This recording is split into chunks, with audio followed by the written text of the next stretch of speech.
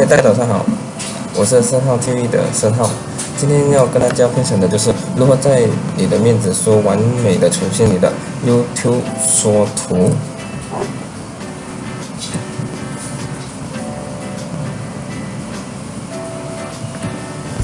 首先，我们来做一个比较，一个是完全没有用任何工具的缩图。一个是用了工具过后制造出来的缩图。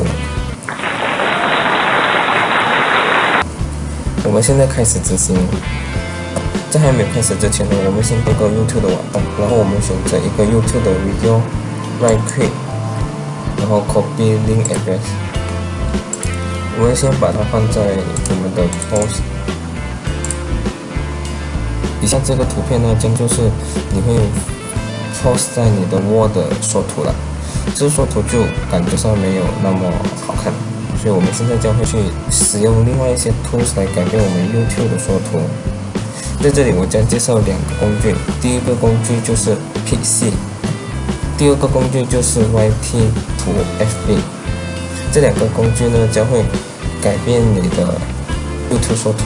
首先，我们先到我们的。YouTube，寻找一个你想要分享的 YouTube video，我就以这个 YouTube video 作为我的实验。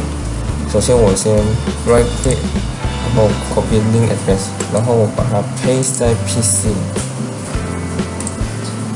PC，PC 就会 auto generate 一个另外一个 URL 来呈现你的 YouTube 缩图，这个就是它更改过后的 YouTube 缩图，然后上面这个。URL 就是更改过后的 URL，我们要做的就是先 copy 这个 URL，然后放在我们的 Facebook，在我们的 post，我们点击，然后 paste，这个就是那个缩图了。另外一个就是 YT to FB，YT to FB 的用法就是跟 PC 是一样的，你只要 copy 你 YouTube 的 URL。然后再 paste YT 读 FB，YT FB 就会 auto generate 另外一个 screen 给你看。所以现在你有看到一个是 before 的，完全没有更改的那个缩图，另外一个是更改过后的缩图。你觉得满意的话，你就在这边按 click me。这个这里面的 setting 呢，你就要先成为他们的 member 才可以更改。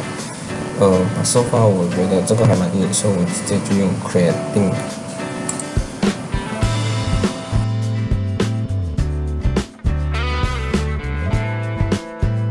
然后这个 URL 就是它已经更改过后缩图的 URL，我们只要 copy 这个 URL，同样的放在我们的 Facebook 的 wall。这个就是那个缩图了。之后我们得到这个缩图过后，我们先按 Publish，你的缩图将会完美的呈现在你的 Facebook 复习。这里呢，我们将使两个外设的 Tools 来改变我们的缩图。第一个就是 PC，我们只要复制他们 Auto Generate 过后的网址到我们的社交网站就行了。第二个就是 YT 读 FB，同样的做法，我们也是复制他们 Auto Generate 过后的网址到我们的社交网站就行了。这两个社交网站除了可以扫货。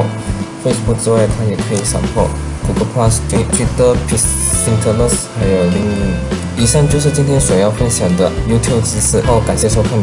如果你觉得我的影片还行的话，请不要忘记帮我点几个 like。你可以留言给我，告诉我你对这个影片的感想。你也可以留言给我，告诉我你想要接受到什么样其他的知识。最后也是最重要的。请不要忘记点击我，我的频道将会不定时的上传 IT 和普遍的知识。谢谢收看。